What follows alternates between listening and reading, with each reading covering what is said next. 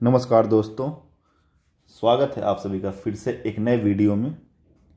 इससे पहले current affairs के तीन वीडियोज़ अपलोड किए जा चुके हैं और उसके बाद मेरे पास बहुत सारे एस्पिरेंट्स की क्वारीज आ रही थी कि 68 प्रीलिम प्रीलिम्स जो कि 12 फरवरी को होने वाला है, उसके लिए कौन कौन से टॉपिक्स और कौन कौन से सेक्शंस पे ज़्यादा ध्यान दिया जाए। तो ये वीडियो मैंने उसी के लिए बनाया है। इसमें मैं आपको बताऊँगा कि 68 प्रीलिम्स के लिए मोस्ट इंपॉर्टेंट टॉपिक्स क्या क्या हैं। ये मैंने, इस वीडियो मैंने history history geography Indian polity Indian economy and science पाँच सब्जेक्ट्स कवर किए हैं। और इसमें मैं बताऊँगा कि इन पाँचों सब्जेक्ट में कौन कौन से मोस्ट इंपॉर्टेंट टॉपिक्स हैं। अगर इतना टॉपिक्स भी कर लेंगे तो मेरे हिसाब से आराम से forty five to fifty questions आपके तो सॉल्व हो ही जाएँगे। प्लस आपका थर्टी करंट अफेयर्स होता है प्लस दस मैथ्स होता है। तो अराउंड नाइन्टी के अराउंड आराम से क्वेश्चन सॉल्व हो जाएँगे। और बाकी तो काफ़ी कुछ खुद से भी सॉल्व हो जाता है। चलिए शुरू करते हैं। सबसे पहले बात करते हैं हिस्ट्री की। अभी आपको सोर्सेस में देखा जाए तो लुसेंट्स जनरल नॉलेज का हिस्ट्री सेक्शन और हिस्ट्री का घटना चक्र, इसके अलावा और कुछ नहीं पढ़ना है। जो भी आपके पास सारी बुक्स है उसको आराम से साइड में रख दीजिए, बस इन दोनों बुक्स पे फोकस कीजिए। अगर हम बात करें एंशियंट हिस्ट्री की तो सबसे सबसे पहले इम्पोर्टेंट टॉपिक है इंडस वैली सिविलाइजेशन इसमें से काफ़ी बेसिक क्वेश्चंस पूछे जाते हैं, जो कि आप काफ़ी आसानी से कर लेंगे। दूसरे नंबर पे है बुद्धिज़्म एंड जैनिज़्म इसमें बुद्धिस्ट काउंसिल और life of lord Buddha and life of lord Mahavir से काफ़ी बेसिक लेवल की क्वेश्चन होते हैं और ये आपका घटना चक्र और लूसेंट जनरल नॉलेज से कवर हो जाएगा। एज ऑफ़ महाजनपद इसको सिक्स सेंचुरी बीसी का टॉपिक ही बोलते हैं। इसमें मौर्य से पहले जो मगध मगध एम्पायर था, उससे मेनली क्वेश्चंस पूछे जाते हैं। मौर्य एम्पायर इसमें मेनली फोकस अशोक चंद्रगुप्त पे होता है। और इससे भी क्वेश्चन जो होते हैं, काफ़ी टफ नहीं होते। गुप्ता पीरियड में भी वही है। इसमें भी काफ़ी काफ़ी इजी सवाल पूछा जाता है। फिर आगे साउथ इंडिया में, चोला, चालुक्य एंड पल्लवा। मेनली इन सब के फाउंडर का नाम और जैसे फिर चोला डायनेस्टी में विलेज पंचायत का सिस्टम था उससे संबंधित सवाल पूछे जाते हैं। आगे बढ़ते हैं मिडिवल इंडिया में। इसमें बस आपको तीन टॉपिक करने हैं। और बाकी छोड़ दीजिए। ऐसे ही काफ़ी बोरिंग होता है मिडिवल इंडिया इसमें आप दिल्ली सल्तनत कर लीजिएगा। उसमें भी मेनली जो शुरू की तीन डायनेस्टीज है सलेब डायनेस्टी खिलजी और तुगलक ये तीनों पर ज़्यादा ध्यान दीजिएगा। मुग़ल पीरियड में ज़्यादा ध्यान आपका अकबर, शाहजहाँ और जहांगीर पे होना चाहिए। और विजयनगर एम्पायर से काफ़ी एलिमेंट्री क्वेश्चंस पूछे जाते हैं। मॉडर्न इंडिया बहुत बहुत इंपॉर्टेंट शायद most important section of the exam होता है ये। सबसे पहले इसमें शुरुआत करते हैं। अराइवल ऑफ़ यूरोपियंस इसमें कौन सी यूरोपियन पावर कब इंडिया में आई और सबसे पहली फैक्ट्री कहाँ पर लगाई? किस ईयर में? बस इतना जानना इम्पोर्टेंट होता है। दूसरा गवर्नर जनरल्स एंड वाइसराइज ये पूरा लिस्ट आपका सेवनटीन सेवेंटी थ्री से शुरू होता है। इसमें मेनली आपको नाइनटीन टेन तक के गवर्नर जनरल्स या वाइसराय ने जो जो मेन मेन इम्पोर्टेंट वर्क किए हैं, वो आपको याद रखने हैं। इसके बाद कम ही पूछा जाता है। इसमें भी जो मेन इंपॉर्टेंट नाम है Warren Hastings Cornwallis Dalhousie William Bentinck Curzon इन सब नेम्स लॉर्ड डफरीन रिपन इन सब नेम्स पे थोड़ा ज़्यादा ध्यान देना है। कॉन्स्टिट्यूशनल डेवलपमेंट्स इसमें जो भी एक्ट आया, चाहे वो regulating act of seventeen seventeen three था या फिर सेवनटीन सेवनटीन नाइन्टी थ्री उसके बाद जो भी अठारह सौ तेरह में आया, अठारह सौ तैतीस में आया एटीन फिफ्टी थ्री में आया एटीन फिफ्टी एट में आया, उसके बाद जो भी आया मोर्लेमेंटल रिफॉर्म्स फिर एक्ट ऑफ़ नाइनटीन नाइनटीन इन सब एक्ट्स की मोस्ट इंपॉर्टेंट बातें ही याद रखनी है। बहुत ज़्यादा डीप में स्टडी नहीं करना है। बहुत कंफ्यूज हो जाएँगे, नहीं तो फिर आप, फिर सोशियो रिलीजियस मूवमेंट्स इसमें कौन सा मूवमेंट किसने शुरू किया, किस ईयर में शुरू किया, और क्या उनका मेन मोटिव था, ये ज़्यादा ध्यान रखना है। और प्लस उससे संबंधित कोई बुक या मैगजीन हो तो वो ज़्यादा ध्यान रखना है। आगे, इसमें भी कौन सा मूवमेंट किसने शुरू किया, कब शुरू किया और क्या मेन मोटिव था? यही तीनों, यही तीन चीज़ें ध्यान में रखनी है। 1857 रिवोल्ट इसमें तो मोस्टली क्वेश्चन हमेशा बाबू वीर कुंवर सिंह से ही होता है और हर साल शायद ये क्वेश्चन बीपीएससी के एग्ज़ाम में होता है तो इसमें ज़्यादा कुछ करने की ज़रूरत नहीं पड़ेगी आपको। ऑर्गेनाइजेशन बिफोर कांग्रेस इसमें जो मेन इम्पोर्टेंट नाम है इंडियन एसोसिएशन या फिर India league zamindari association British India society या फिर जो इंडिया से बाहर भी बनाए गए थे कुछ एसोसिएशन वो सब नाम आपको याद रखने हैं। द कांग्रेस ये तो मैंने ऐसे लिख दिया है, इसमें बस जैसे कांग्रेस का ओरिजिन 1885 में बस गवर्नर जनरल कौन था डफरिन ये सब। कांग्रेस सेशंस बहुत इंपॉर्टेंट है, लेकिन फिर भी आपको इसको बिल्कुल कंप्रहेंसिव वे में पढ़ना है। और कुछ सारे सेशंस में, सारे सेशंस में तो नहीं, लेकिन बहुत सारे सेशंस में जो जो मेन मेन चीज़ें हुई हैं, वो आपको बहुत अच्छे से याद होना चाहिए। या आपको स्पेक्ट्रम या फिर सोनाली बंसल या फिर पूनम दलाल दहिया की जो बुक है, तीनों में से किसी में अपेंडिक्स में काफ़ी अच्छे से मिल जाएगा। मॉडरेट्स एंड एक्सट्रीमिस्ट फ़ेज़ ये मेनली आपको एट्टीन एट्टी फाइव से लेके नाइनटीन सिक्सटीन, सेवनटीन तक करना है और इसमें बहुत सारी चीज़ें कांग्रेस के सेशंस में भी कवर हो जाएगी। स्वदेशी मूवमेंट बेसिक चीज़ें, कहाँ हुआ था, क्या मेन कॉज था रिवर्सनरी नेशनलिज्म ये मेनली इंडिया में फ़ेज़ अनुसूलन समिति से शुरू होता या फिर उससे उसके बाद मित्र मेला हुआ था, या फिर जो पुणे में गोली मार दी गई थी, ये सब जो भी इंडिया में रिवर्सनरी नेशनलिज्म की एक्टिविटी हुई या फिर इंडिया के बाहर जो भी हुआ था, वो आपको अच्छे से कर लेना है। Bhagat Singh Chandrashekhar Azad H R H S R A Chittagong army raid Kakori train action ये सब चीज़ें। Ghadar movement and home rule movement बहुत ही संक्षेप में करना है इसको। कहाँ शुरू हुआ था? कौन मेन लीडर थे? होम रूल मूवमेंट इंडिया में कौन दो थे? दोनों में क्या मेन डिफरेंस था? दोनों कहाँ ऑपरेट होते थे? ये दोनों, ये सब चीज़ें बस। Arrival of Gandhi ji and Champaran Satyagraha Champaran Satyagraha से मेनली क्वेश्चन तो यही निकल के सामने आता है कि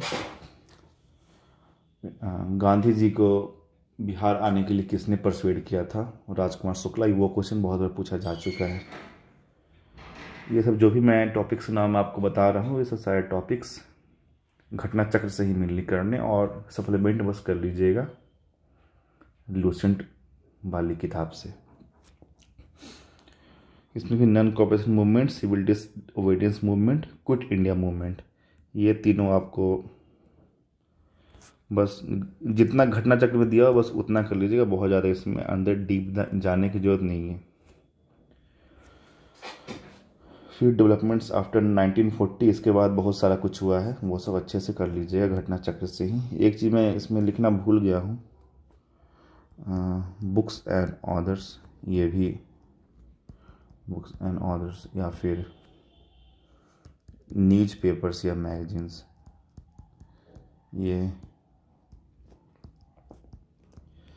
न्यूज़ पेपर एंड मैगजीन्स कौन सा न्यूज़ पेपर किस, ये उतना, कौन सा न्यूज़ पेपर किसने शुरू किया, कौन सा बुक किसने लिखी, कौन सा मैगजीन किसने शुरू किया। इसका एक अपेंडिक्स आपको वही स्पेक्ट्रम या सोनाली बंसल या पूनम दलाल दहिया की बुक में मिल जाएगा, वहाँ से कर लीजिएगा। Period movements in Bihar and Swami Sahajanand इसमें स्वामी सहजानंद की बातें करेंगे, श्री कृष्ण सिंह की बात करते हैं। और जो भी बिहार में मेनली मूवमेंट जो भी पीरियड मूवमेंट हुआ है, वो सब आराम से, जो भी कोई आपके पास बिहार हिस्ट्री की बुक है, उसमें आपको इनफ मटेरियल मिल जाएगा, वहाँ से कर लीजिएगा। कांग्रेस सोशलिस्ट पार्टी एंड ये आपको पता है कि जयप्रकाश नारायण से संबंधित है। और इस पर बहुत ज़्यादा क्वेश्चन पूछे जाते हैं, और शायद हर साल होता ही है। इसमें जो जो क्वेश्चन घटना चक्र में दिया है, बस उतना कर लीजिएगा, आपका काम हो जाएगा। फॉर्मेशन ऑफ़ बिहार स्टेट, इससे बारह क्वेश्चन पूछा जाता है कि एक वक्त तो नाइनटीन ट्वेल्व बना था, एक नाइनटीन थर्टी सिक्स में बना था। किससे कब अलग हुआ था, ये सब बातें क्यों बना था? काफ़ी शॉर्ट में ये टॉपिक आप कर सकते हैं। तो हिस्ट्री में इतना था और मेनली हिस्ट्री और साइंस ही एक्सटेंसिवली कवर करना होता है, बाकी तो कम ही टॉपिक करने हैं। जैसे कि देखते हैं जोग्राफ़ी जोग्राफ़ी ये सब जैसे मैं बार बार बोलता हूँ कि जोग्राफ़ी में कॉस्ट बेनिफिट रेशियो काफ़ी कम होता है, इसमें बहुत एफर्ट मत लगाइए। कुछ ना कुछ हमेशा छूट ही जाएगा। इसमें सेंसस कर लीजिएगा इंडिया और बिहार दोनों के कॉन्टेक्स्ट में। सबसे बड़ा राज्य, सबसे ज़्यादा पॉपुलेशन वाला राज्य, सबसे ज़्यादा पॉपुलेशन वाला डिस्ट्रिक्ट सबसे ज़्यादा पॉपुलेशन डेंसिटी वाला स्टेट सबसे ज़्यादा पॉपुलेशन वाला डिस्ट्रिक्ट सबसे कम ये सब। सेक्स रेशियो लिटरेसी रेट ये सब चीज़ें, है ना? India state of forest report twenty twenty one ये भी सबसे लेटेस्ट यही है और ये पिछले साल मार्च में आया था, लेकिन सिक्सटी सेवन फिल्म्स में इसमें क्वेश्चंस नहीं आए थे। तो बहुत चांसेस है कि मुझे लग रहा है कि सिक्सटी एट में तो इसमें क्वेश्चंस रहेंगे ही रहेंगे, इसीलिए इसको भी इंडिया और बिहार के कॉन्टेक्स्ट में काफ़ी अच्छे से कर लीजिएगा। और काफ़ी अच्छे से कि काफ़ी डीप नहीं करना है मेनली सबसे ज़्यादा और सबसे कम वाला डिस्ट्रिक्ट और स्टेट का नाम ही याद रखना है, वही पूछते हैं। और exact percentage of forest in India and Bihar यहाँ पे फ़सल प्रोडक्शन की बात करते हैं। ये भी वर्ल्ड के कॉन्टेक्स्ट में इंडिया और बिहार बिहार में वही पाँच छः करना है। सबसे ज़्यादा राइस कहाँ होता है, सबसे ज़्यादा वीट कहाँ होता है, सबसे ज़्यादा पल्स कहाँ होता है, सबसे ज़्यादा मेज कहाँ होता है, ये सब चीज़ें। वर्ल्ड में भी वर्ल्ड में भी मेन मेन जो भी फ़सल है उसकी बात और इंडिया में भी सेम सब कौन सा स्टेट में सबसे ज़्यादा क्या होता है? मिनरल मिनरल प्रोडक्शन में सेम चीज़ वर्ल्ड और इंडिया के कॉन्टेक्स्ट में। ये मैंने मिनरल मिनरल्स इन बिहार एक अलग टॉपिक लिख दिया, क्योंकि बिहार में कुछ ही डिस्ट्रिक्ट में मिनरल्स और वहीं से कुछ कुछ क्वेश्चन आ जाता है जोग्राफी में, जो कि काफ़ी आसान होता है। इसमें वर्ल्ड और इंडिया के कॉन्टेक्स्ट में सबसे ज़्यादा किस कंट्री और सबसे ज़्यादा कौन से स्टेट में main main important minerals physical division of Bihar, वही जो बिहार के तीन फ़िज़िकल, तीन या चार जो भी हैं, फ़िज़िकल डिविजन्स हैं, ये किसी भी आपको बिहार की, बिहार स्पेशल बुक में मिल जाएगा। बिहार स्पेशल बुक में आपको एक बात का ध्यान रखना है कि बिहार स्पेशल बुक में काफ़ी टॉपिक दिया हुआ होता है और बहुत ज़्यादा जगह बताया भी जा रहा है कि सब करना है, लेकिन बस कुछ नहीं करना है। बिहार का हिस्ट्री और बिहार का जोग्राफ़ी और इंपॉर्टेंट पर्सनालिटीज़ यही तीनों टॉपिक करने हैं। बिहार का डांस बिहार का फेस्टिवल बिहार का पॉलिटी बिहार का टूरिस्ट प्लेसेस ये सब बिल्कुल इग्नोर कीजिएगा। कंप्लीट वेस्टेज ऑफ़ टाइम है। अभी आपके पास अराउंड पंद्रह दिन समय बचा, उसमें आप इतना ही कर सकते हैं तो इतना ही कीजिए। रिवर्स ऑफ़ बिहार ये इसमें मेनली ये कि कौन से रिवर किस डिस्ट्रिक्ट में कहाँ पे किससे मिलती है। काफ़ी आसान हो जाएगा। इन इंडियन पॉलिटी वही सोर्स घटना चक्र रखना है। आर्टिकल वन से लेके आर्टिकल फिफ्टी वन तक और और भी जो अदर इम्पोर्टेंट आर्टिकल्स वो करने जैसे कि इलेक्शन कमीशन का आर्टिकल हो गया अटॉर्नी जनरल का आर्टिकल हो गया सी का आर्टिकल हो गया सुप्रीम कोर्ट का आर्टिकल हो गया, ये सब आर्टिकल्स आपको याद रखने हैं। और आपने अगर एक दो बार भी लक्ष्मीकांत पढ़ा हो गया या फिर एक दो बार भी इस बुक के, इस बुक को पढ़ा हो तो ये सब आर्टिकल्स आपको ऑटोमेटिकली याद हो जाता है। सेक्शंस ऑफ़ द कॉन्स्टिट्यूशन कौन से सेक्शन में किसकी बात की गई है? सॉरी इसमें एक्चुअली पार्ट्स होना चाहिए, मैंने गलत लिख दिया। इसका right term parts of the constitute parts of the constitution है, ठीक ना? जो बारह पार्ट है, उसकी बात की गई है। कौन कौन से इंपॉर्टेंट अमेंडमेंट्स हैं? Forty two forty four sixty one अब या फिर जो हाल में जो पिछले कुछ सालों में जो तीन चार अमेंडमेंट्स हुए वो सब अच्छे से याद कर लीजिएगा। फ़र्स्ट अमेंडमेंट पता होना चाहिए, ये सब चीज़ें। गवर्नेंस सिस्टम वही रिपब्लिक डेमोक्रेसी ये सब, और पार्लियामेंट्री डेमोक्रेसी क्या होता है मोनार्क क्या होता है, ये सब चीज़ें, जो मोस्टली आपको पता होंगी। फंडामेंटल राइट्स में कुछ नहीं करना, बस सारे आर्टिकल्स पता होने चाहिए, अच्छे से याद होने चाहिए, उसमें क्वेश्चन बहुत बार आता है। डी पी एस पी में सेम चीज़ें आर्टिकल्स अच्छे से पता होना चाहिए। काउंसिल ऑफ़ मिनिस्टर्स, ये जो इसमें जो भी क्वेश्चन दिए हुए हैं, घटना चक्र बस उतना कर लीजिएगा। और द प्रेसिडेंट में भी जो भी सवाल दिए हैं घटना चक्र में उतना काफ़ी है।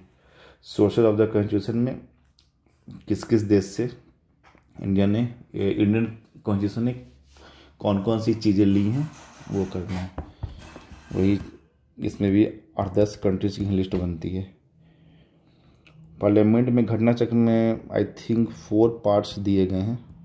उतना नहीं करना, उसमें शायद पार्ट फोर में बहुत सारे एक्ट्स की बात की गई है, जो छत्तीसगढ़ पीसेस में बहुत ज़्यादा पूछा जाता है माइट भी तो वो आपको नहीं करना है। और बस पार्ट वन टू थ्री घटना चक्र से कर सकते हैं, उतना इनफ होगा। पार्लियामेंट्री कमेटी ये भी सबसे बड़ी कमेटी कौन सी है? कौन सी कमेटी बस, कौन सी कमेटी में बस लोकसभा के मेंबर होते हैं?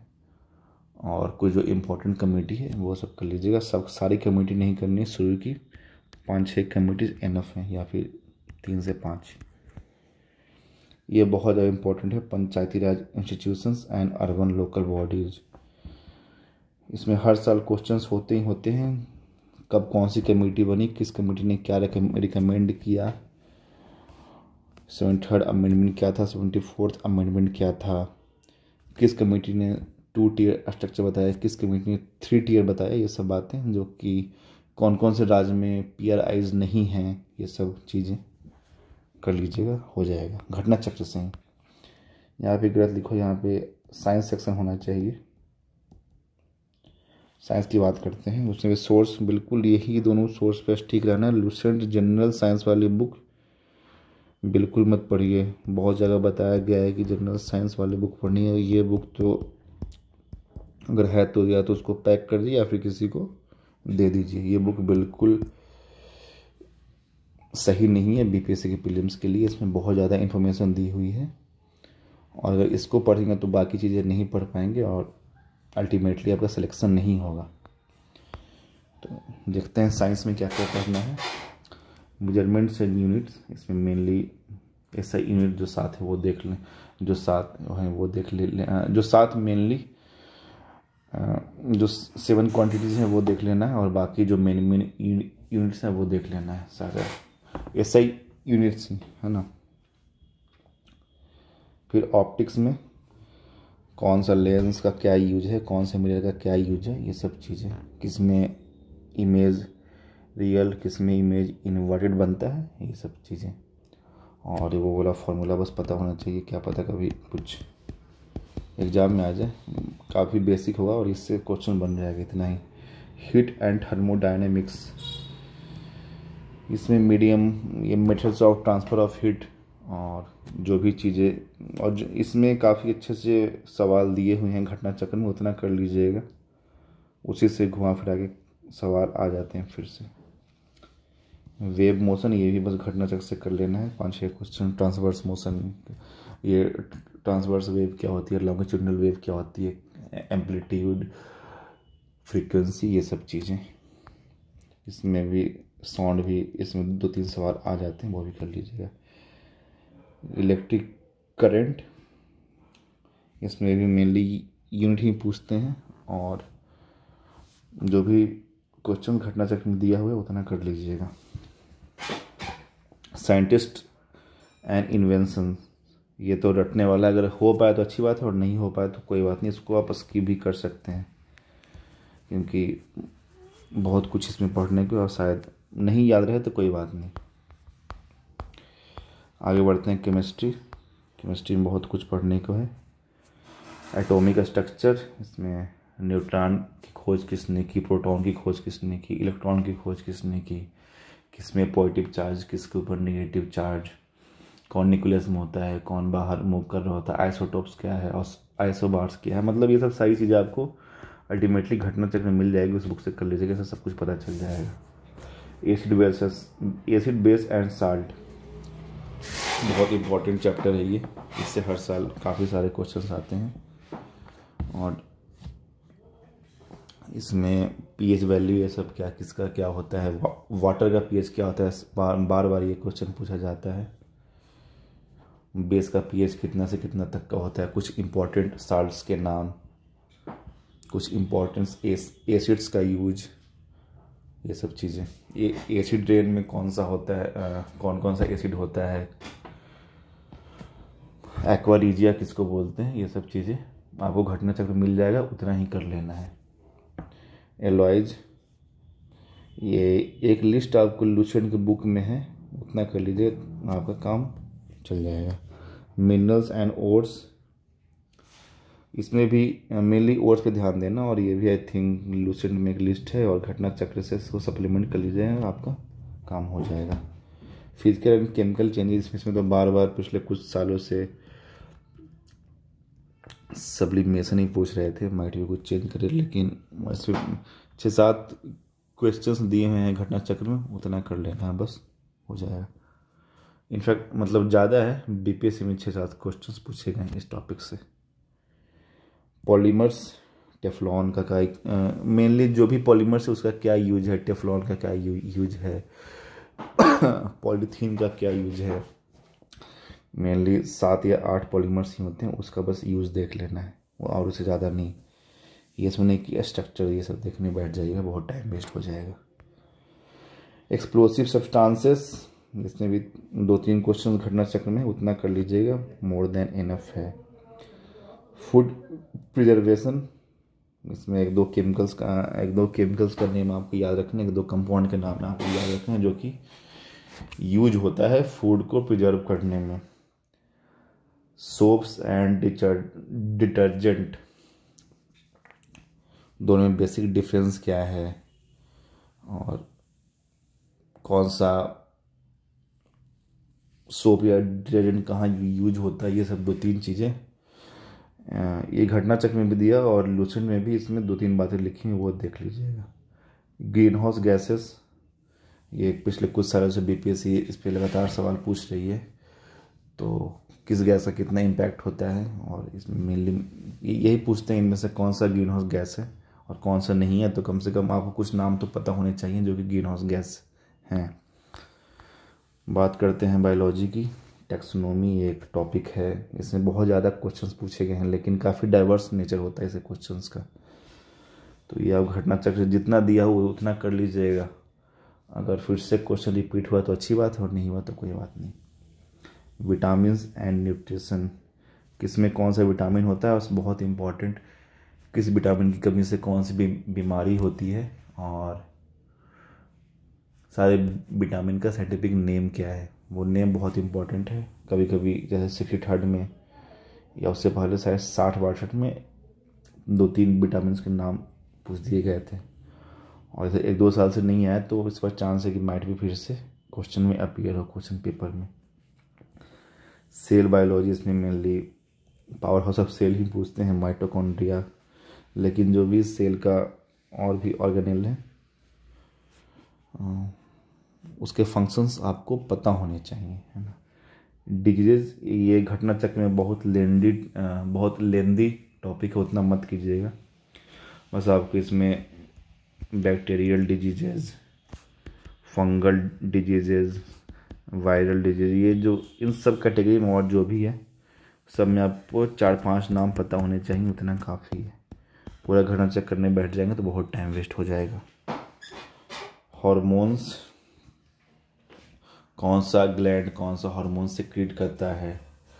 ये सब चीज़ें हाइपोथैलमस क्या है आ, ये एक्चुअली हाइपोथैलमस दो बार एग्ज़ाम में पूछा जा चुका है लगातार तो थोड़ा इम्पोर्टेंट बन जाता है। सिस्टम्स ऑफ़ द बॉडी इसमें मेनली डाइजेस्टिव सिस्टम की बात करते हैं इससे सवाल आते रहता है और फिर ब्लड की बात करते हैं। ब्लड का टाइप क्या होता है? कौन किसको डोनेट कर सकता है? आर आर एच फैक्टर क्या है? ये सब चीज़ें आप इसमें पढ़ लीजिएगा। और लास्ट में ये फोटोसिंथेसिस यह है तो छोटा टॉपिक लेकिन पता नहीं क्यों इससे बी पी एस बीपीएससी बारह सवाल पूछती है। तो फोटोसिंथेसिस से संबंधित जितने भी क्वेश्चंस आपको घटना चक्र में मिलेंगे, सारा का सारा कर लीजिएगा, आपका हो जाएगा। आगे बढ़ते हैं लास्ट इंडियन इकोनॉमी पे। इसमें लोग बहुत कुछ पढ़ने को बोलते हैं, लेकिन मेरे हिसाब से फिर वही बात है कि कॉस्ट बेनिफिट रेशियो काफ़ी पुअर होता है। स्टैटिक चीज़ें काफ़ी कम ही पूछी जाती हैं इसमें, और जो होता है बहुत एलिमेंट्री होता है नेशनल इनकम पूछ देंगे, और इन्फ्लेशन क्या है पूछ देंगे, ये सब चीज़ें जो आपको इन जनरल पता होती हैं। तो मेरे हिसाब से इंडियन इकोनॉमी में ज़्यादा कुछ फोकस करने की ज़रूरत नहीं, बस अभी आपके पास जो भी लेटेस्ट बजट और इकोनॉमिक सर्वे है, चूँकि एग्ज़ाम ट्वेल्थ फरवरी को है, बारह फरवरी को है। तो ऑब्वियसली लास्ट ईयर वाला बजट और इकोनॉमिक सर्वे ही काम आएगा। उसका जो आपको सबसे छोटा, सबसे शॉर्टेस्ट जो समरी मिले बस उससे इम्पोर्टेंट पॉइंट कर लीजिएगा। उससे आराम से दो तीन क्वेश्चंस बन जाएँगे और इतने ही सवाल आते हैं, इससे ज़्यादा आते भी नहीं हैं। अब चूँकि लास्ट ईयर का बजट और इकोनॉमिक सर्वे निकले भी ऑलमोस्ट एक साल हो गया है तो माइट भी इस साल कम फोकस हो बट हो नोट कुछ भी हो सकता है तो इतना कर लीजिएगा। तो ये था इम्पोर्टेंट लिस्ट ऑफ़ टॉपिक्स अगर आप इतना भी कर लेते हैं और मैं ये एज्यूम करके चल रहा हूँ कि अगर अभी आपके पास पंद्रह दिन तो हैं ही और इतना भी कर लेते हैं तो ईज़िली आप फिफ्टी क्वेश्चन तो आराम से सॉल्व कर लेंगे। और इतना टॉपिक मेरे हिसाब से छः से सात दिन में हो जाना चाहिए। बाकी आपके पास जो आठ से नौ दिन बचा है, जो आप कुछ चीज़ें पढ़नी है, पढ़िए। या वह फिफ्टी कहाँ हो जाएगा?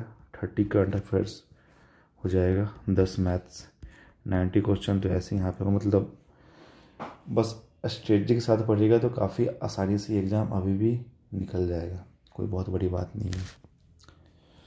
ठीक है, ये वीडियो यहीं पे ख़त्म करते हैं। बाकी मैं कंटिन्यू करूँगा करंट अफेयर्स की वीडियो अभी कल मैंने अगस्त तक का अपलोड कर दिया था बिहार करंट अफेयर्स, उसके आगे सितंबर से लेकर दिसंबर तक एक दो दिन में अपलोड कर दिया जाएगा। और भी जो बाकी करंट अफेयर्स के थीम हैं, वो सारे वीडियोस एग्ज़ाम के काफ़ी पहले ही अपलोड कर दिए जाएँगे। तो अगर ये वीडियो आपको हेल्पफुल लगा हो तो अपने दोस्तों के बीच में शेयर कीजिएगा, ताकि उनको भी फ़ायदा हो। Thank you.